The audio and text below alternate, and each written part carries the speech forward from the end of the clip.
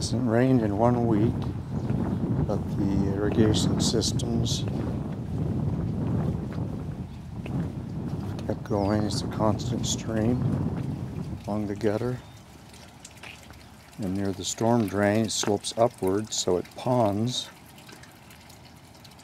like this before it can enter the uh, storm drain. So we have a river here that backs up